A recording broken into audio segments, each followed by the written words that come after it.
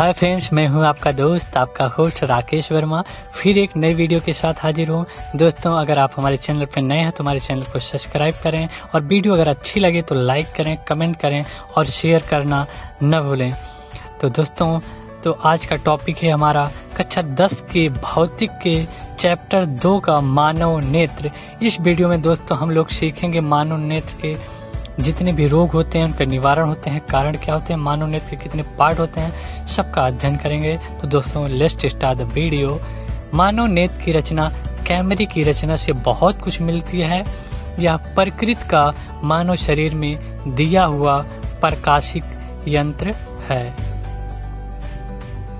नेत्र गोलक क्या होता है दोस्तों? आँख लगभग गोल होती है तथा आँख गोले को, आँख के गोले को नेत्र गोलक कहा जाता है। श्वेत पटल क्या होता है? यह आँख की कठोर कोलेजन तंतुमय बाह्य परत होती है, जो आँख को सुरक्षा एवं आकार प्रदान करने का कार्य करती है। कॉर्निया क्या होता है दोस्तों? यह श्वेत पटल का पारदर्शी पृष्ठ भाग होता है, जो प्रकाश को अपवर्तित करके रेटिना पर पहुंचाता है। तो आप फिगर में भी देख सकते हैं। नेत्र दान के समय आँख के कार्निया भाग को दान किया जाता है। दोस्तों, क्या दान किया जाता है? आँख के कार्निया को दान किया जाता है। पलक क्या होता है? यह कार्निया को यांत्रिक एवं रासायनिक क्षति से बचाती है तथा रेटिना की तीव्र प्रकाश से सुरक्षा प्रदान करने का कार्य करती है। कोरोइड क्या होता है? इसमें रुधिर नलिकाएँ होती हैं, जो रेटिना को रुधिर प्रदान करती हैं, तथा यह काली वर्णक कोशिकाओं से ढकी होती हैं, या आँख में प्रकाश के परावर्तन को रोकती हैं। दोस्तों, यहाँ पे फिगर पे भी आप देख सकते हैं। नेत्र लेंस क्या होता है? यह पारदर्शी, लचीला, अभियोत्तल लेंस है, जो जिलेटिन जैसे पारदर्शक पदार्थ से बना हुआ तथा मुलायम होता है।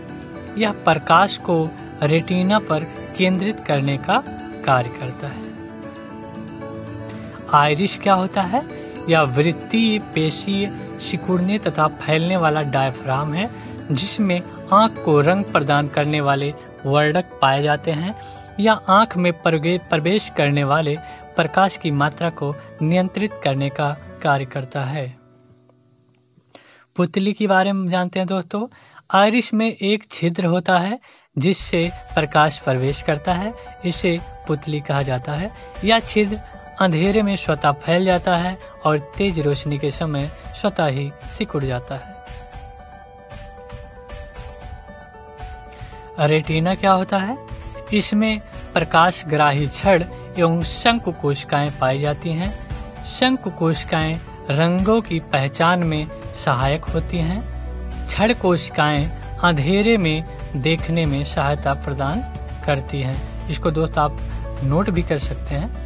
आँख में वस्तु का प्रतिबिंब रेटिना पर बनता है, जो वास्तविक तथा उल्टा होता है, लेकिन अनुभव के आधार पर हमें सीधा दिखाई देता है। जली द्रव क्या होता है दोस्तों? यह कार्निया तथा नेत्र लेंस के बीच भरा हुआ पारदर्शी द्रव होता है, जिसे सामान्य भाषा में आँसू भी कह सकते हैं। इसका पूर्णांक 1.337 होता है।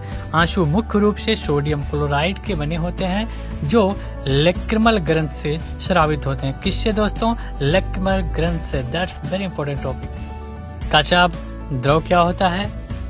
या लेंस तथा रेटिना के बीच भरा हुआ पारदर्शी द्रव होता है। इसका अपूर्णांक 1.337 होता है। नेत्र की संबंधन क्षमता की बात करते हैं दोस्तों।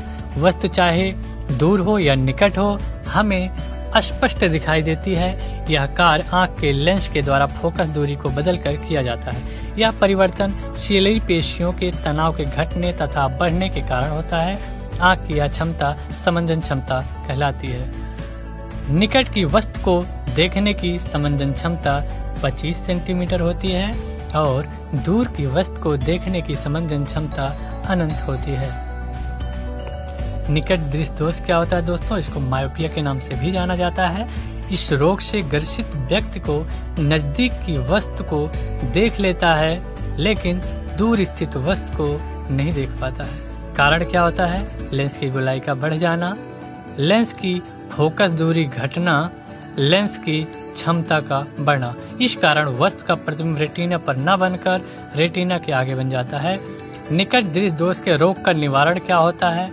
निकट दृष्टि दोष के निवारण के लिए उपयुक्त फोकस दूरी के अवतल लेंस का प्रयोग किया जाता है। दोस्तों, निवारण के लिए किसका अवतल लेंस का? इस रोग से ग्रसित व्यक्ति को दूर की वस्तु दिखलाई पड़ती है और निकट की वस्तु दिखलाई नहीं पड़ती है। तो ये दूरदृष्ट कहलाता है।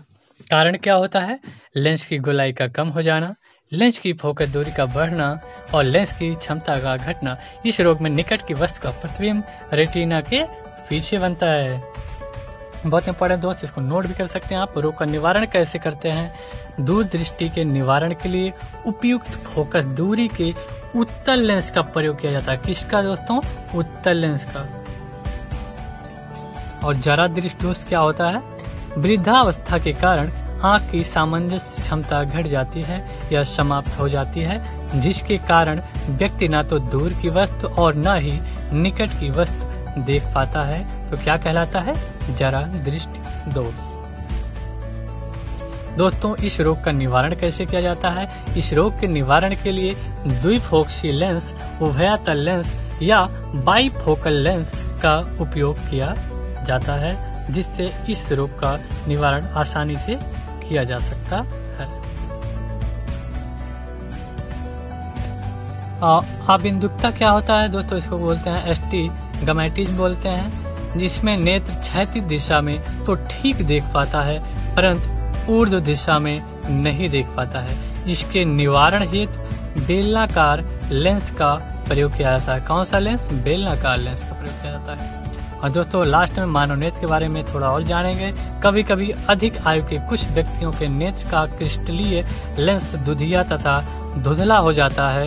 इस स्थिति को मोतियाबिंद कहते हैं। इसके कारण नेत्र की दृष्टि में कमी या पूर्ण रूप से दृष्टि क्षय हो जाती है। तो दोस्तों, ये था भौतिक का दूसरा चैप्टर और इसी तरह समाप्त होता है। अगर वीडियो अच्छी लगी हो तो लाइक करें और शेयर करें।